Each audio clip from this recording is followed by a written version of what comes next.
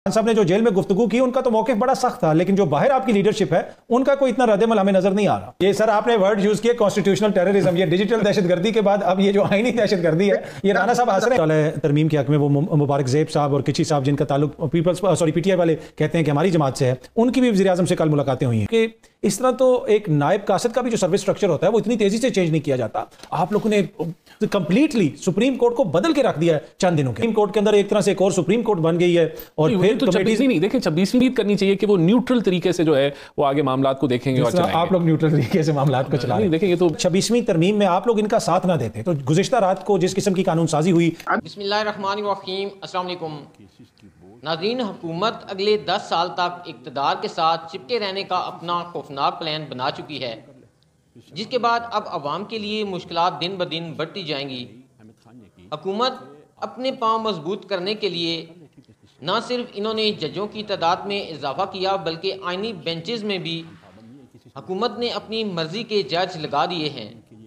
इस पर आज पी टी आई के हमायूं महमद ने हुकूमत के इस अतकंडों के पीछे छुपी वारदात को बेनकाब कर दिया। आए पहले इनकी गुफ्तगु सुनते हैं फिर इस पर तफसील से बात करते हैं। ये जो कानून बना है इन्होंने बेसिकली ये किया है कि जो आईनी बेंच है वो आईनी बेंच में ये याद रखे जो भी केस होगा वो जाएगा अगेंस्ट होगा गवर्नमेंट के। क्योंकि हम्म। फैसले जो होंगे गवर्नमेंट के खिलाफ जा रहे होंगे तो गवर्नमेंट उनको चैलेंज करेंगे और आईनी बेंच अब आईनी बेंच में गवर्नमेंट ने सात जजेस को अपॉइंट करवा दिया है, ठीक है। ये सात जजेस जो हैं ये गवर्नमेंट के खिलाफ जो केसेस होंगे उनको देखते हुए गवर्नमेंट के हक में फैसला देंगे। तो ये बेसिकली इस आईनी बेंच जो बना है उसका टोटल मकसद ये है कि जो भी गवर्नमेंट डिसीज़न लेती है गैर आईनी ये कोर्ट उसकी इंटरप्रिटेशन आईनी करके उनके हवाले कर देगी। तो आप लोग क्या करेंगे? आप इसको चैलेंज करेंगे? कल भी जो कानून साजी हुई आज खान साहब ने जो जेल में गुफ्तगू की उनका तो मौके बड़ा सख्त था लेकिन जो बाहर आपकी लीडरशिप है उनका कोई इतना रद्दमल हमें नज़र नहीं आ रहा। देखिए मेरे लिहाज से मेरे लिहाज से तो ये छब्बीसवीं जो तरामीम है इनको ही चैलेंज होना चाहिए। इसी को ही रोकना चाहिए। जब ये खत्म हो जाएगा ये गंद जो खत्म हो जाएगा इसमें से ये सारी चीज़ें जो कि बेसिकली एक कॉन्स्टिट्यूशनल क्या कह सकते हैं उसे टेररिज्म है जब इसको हम स्टॉप कर लेंगे तो सारी चीज़ें दोबारा सही जगह पर सही से ये सर आपने वर्ड यूज़ किए कॉन्स्टिट्यूशनल टेररिज्म ये डिजिटल दहशतगर्दी के बाद अब ये जो आईनी दहशतगर्दी है ये राणा साहब हंस रहे हैं। राणा साहब यहाँ पर जी जी बताएँ बताएँ बताएँ। मुझे एक चीज़ बता मुझे एक बोल लेने दे। देखिए दहशत गर्दी क्या होती है? जब आप लोगों को हरासा करते हैं और उसके बाद आप लोगों को खौफजदा करते हैं और अपने मतलब की चीज़ करते हैं सब इस पे भी आप कमेंट कीजिएगा। वजी अजम साहब ने कहा कि कैबिनेट में भी इजाफा हो रहा है। तो कैबिनेट में कौन आ रहा है? पीपल्स पार्टी पीपल्स पार्टी वाले आ रहे हैं जे यू आई एफ़ वाले आ रहे हैं। किसको शामिल कर रहे हैं कैबिनेट में? देखिए मैं उधर मौजूद था जब प्राइम मिनिस्टर ने यह ज़िक्र किया और उन्होंने अपनी पार्ट पार्लिमानी पार्टी मीटिंग में इस चीज़ का ज़िक्र किया। तो उन्होंने किसी और जमात का कैबिनेट में जो मैंने जो मेरी अंडरस्टैंडिंग जो है वो उन्होंने किसी और जमात से काबीना को बढ़ाने की बात नहीं की, उन्होंने अपनी ही जमात से वो मुखातिब थे। और उन्होंने ये कहा कि मुझे काम चाहिए और मुझे इसके अलावा और कुछ नहीं चाहिए और मैं कैबिनेट एक्सपैंड करने लगा हूँ और मैं कुछ शफलिंग भी करूँगा। तो मेरा जो अंडरस्टैंडिंग है वो पी एम एल एन के पॉइंट ऑफ़ व्यू पर देखिए ना कल वो जो लोग जिन्होंने आपके हक में वोट डाला है तरमीम के हक में वो मुबारक जेब साहब और किची साहब जिनका ताल्लुक peoples sorry P T I वाले कहते हैं कि हमारी जमात से है उनकी भी वजी अजम से कल मुलाकातें हुई हैं। क्या उनको शामिल किया जा सकता है कैबिनेट में? वजी अजम की मुलाकातें तो पार्लियामेंटेरियन से होती रहती हैं और वो एक रेगुलर फीचर है और क्योंकि उन्होंने जमात ज्वाइन की थी तो एक इंट्रोडक्टरी मीटिंग उनसे हुई थी। लेकिन मेरा नहीं ख्याल कि कैबिनेट का जो है वो कोई वो वो इंडिपेंडेंटली तो नहीं आप लोग डाल रहे कैबिनेट में? देखिए ये तो प्राइम मिनिस्टर का प्रोगेटिव है और मैंने कहा मैंने कहा प्राइम मिनिस्टर ने ये सीवी रखा हुआ अगर इस तरह कैबिनेट में आ रहे हैं नहीं कैबिनेट में तो ये प्राइम मिनिस्टर का प्रोगेटिव है कि कौन आएगा और पीएमएलएन से ही होगा ज़्यादातर और उन्होंने ये भी कहा कि मैं बड़े मियाँ साहब से मशवरा करके तो हम्म। जल्द इसके ऊपर कोई फैसला अच्छा ब्रीफली वो भी बता दें ये जो पीआईए की निजकारी करने की आप लोगों ने कोशिश की है आप पीएम के कोऑर्डिनेटर हैं इकोनॉमिक अफेयर्स के तो अब ये मामला इसको हतमी करेंगे कब तक इसका होगा क्या होगा? एक डिसअपॉइंटिंग आउटकम आई लेकिन ये कहना कि इसमें कोई हुकूमत का कोई कसूर है? नहीं, बिल्कुल भी ऐसा नहीं है। हुकूमत ने जो इससे पहले केयर टेकर हुकूमत थी, उसने इंटरनेशनल फाइनेंशियल एडवाइज़र जो है, एक ट्रांसपेरेंट तरीके से हायर किए और उस फाइनेंशियल एडवाइज़र ने जो जो इंटरनेशनल है मकिनजी मेरे ख्याल से उनका नाम है उन्होंने जो है वो जो फ्रेमवर्क बनाया उसके मुताबिक हुकूमत ने एक्ट किया और उसके मुताबिक जो है ये प्रोसेस चला। इस वक्त जो है प्राइवेटाइजेशन कमीशन इसके ऊपर एक तैयारी करके बैठा हुआ है जो वजी अजम जिसको रिव्यू करेंगे कि आगे का इसका क्या लाइमल होना चाहिए हम्म। क्या अभी भी कोई तरीक़ाकार है इसको लेकिन ये तय है कि हम इसको प्राइवेटाइज करना चाहते हैं और हम इससे रुकेंगे नहीं। अच्छा सेनेटर साहब आज इमरान खान साहब ने कहा कि लोगों को बाहर निकलना पड़ेगा पुरमन एहतजाज करना पड़ेगा। कब आपकी जमात कोई बड़ा एहतजाज करने जा रही है? वैसे तो अली अमीन साहब ने नौ तारीख दी हुई है लेकिन कोई जमात में मुशावरत हुई है? आगे आप चीज़ों को किस तरह लेके चलना है? देखिए सबसे पहले मैं एक छोटा सा कमेंट करूँगा। आपने पीआईए की बात की। देखिए पीआईए का बेसिक मसला ये नहीं है कि उसमें उसमें मैनेजमेंट इशू है। वो आज भी 200 अरब रुपए का टर्नओवर करता है। तो इसका मतलब ये है कि उसका असल मसला ये और ये याद रखिए कि 1980 में हर छः मिनट बाद पीआईए के जहाज़ कहीं लैंड करता था दुनिया में। और 1985 में पीआईए ने एमिरेट्स बनाया था और उनको दो जहाज़ दिए थे और ई के एमिरेट्स जो कराची का पहला जहाज़ आया था जिसकी बेसिस पे उनके जो एब्रीवेशन होते हैं वो ई के होता है उस बेसिस पे होता है। लेकिन उसके बाद एक ऐसा वाक्य हुआ जिसकी वजह से पीटीआई वो पीआईए बैठनी शुरू हो गई। और वो क्या था? वो मियाँ साहब आ गए थे। 1985 में मियाँ साहब चीफ मिनिस्टर बन गए। उसके बाद फिर इन लोगों ने और पीपल्स पार्टी ने मिल के पीआईए का सत्यानाश कर दिया। आज भी पीआईए को अगर आप मैनेज प्रॉपर तरीके से कर लो तो कर लो लेकिन पीआईए आज से नुकसान दे रही है।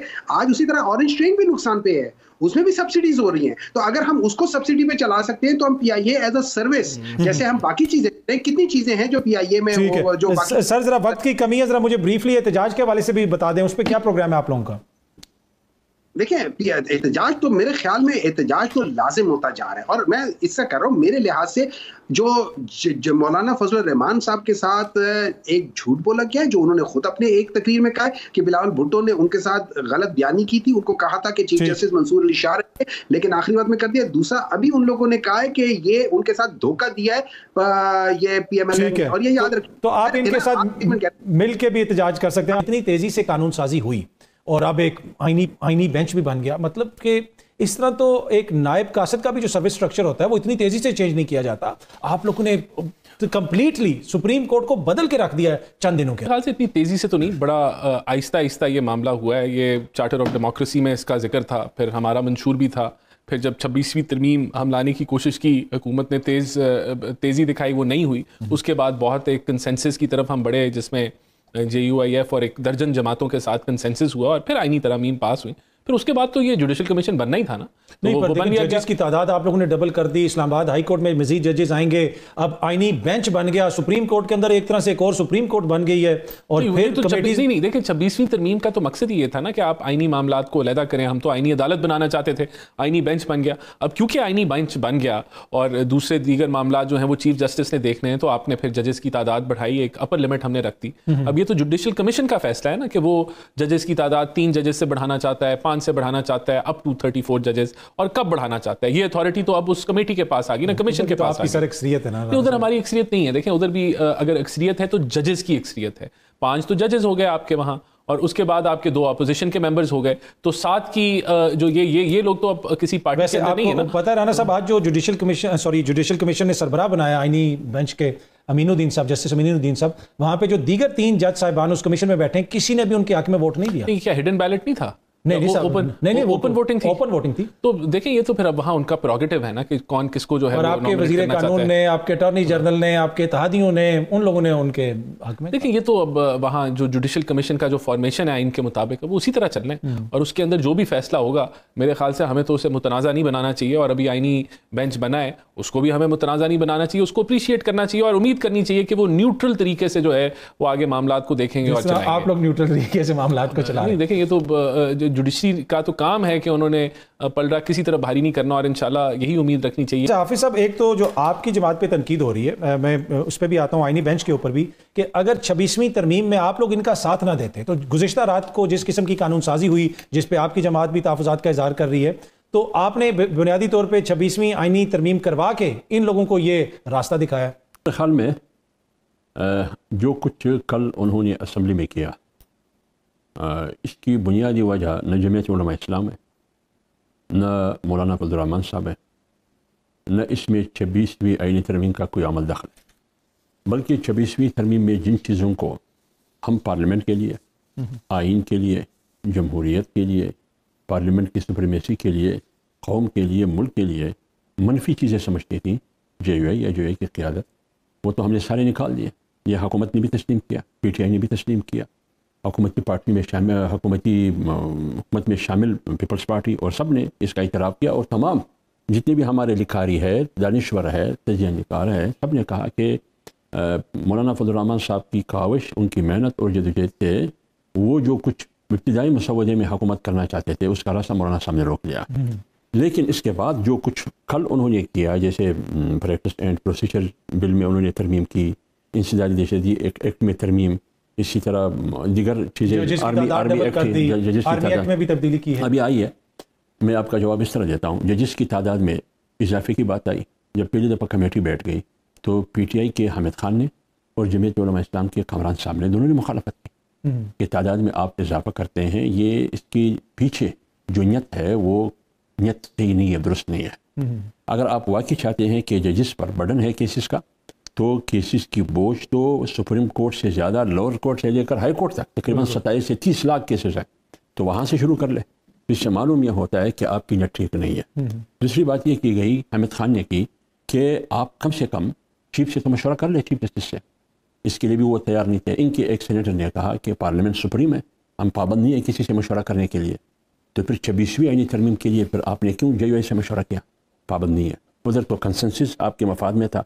यहाँ जब आप आ गए जजिस की इजाफे में हम किसी के पाबंद नहीं है। हम्म। तो उसी चीफ जस्टिस से आप मशवरा कर रहे जिस चीफ जो चीफ जस्टिस आपको पसंद था। ठीक है। और एक अरब पैंतालीस करोड़ की हिंदुस्तान है वहाँ तैंतीस या चौंतीस की तादाद है। हम्म। आपने यहाँ सत्रह से चौंतीस करते हैं लेकिन कमेटी के अंदर पच्चीस की बात हो रही थी। लेकिन निकल गई चौंतीस। तो लिहाजा जमीयत इस्लाम ने जहाँ जहाँ मुखालफत मुनासिब थी जमीयत इस्लाम ने वहाँ मुखालफत की। नाजीन आपने तीनों में मानों की गुफ्तु सुनी। आपने देखा कि कैसे हुकूमत जजों की तादाद में इजाफा कर रही है और कैसे आइनी बेंच अपनी मर्ज़ी का बना दिया है। सबकी मुखालफत के बावजूद इन्होंने आइन में तरमीम कर डाली, बल्कि इसके साथ साथ ये अपनी फार्म 47 की हुकूमत को गिरने से बचाने के लिए इन्होंने आइनी बेंचेस में भी अपनी मर्ज़ी के जज तैनात कर दिए हैं। क्योंकि अब जो भी आइनी मामला होगा, जो भी आइनी केस होगा, वो इसी आइनी बेंच के पास जाएगा, जहाँ हुकूमत की पहले ही अक्सरियत मौजूद है। इस तरह इनके हक़ में ये फ़ैसले आएँगे और ये अवाम पर मसलत रह पाएँगे। नाजीन आप आज की वीडियो के मतलब क्या कहना चाहेंगे? आप अपनी राय से हमें ज़रूर आगा करें।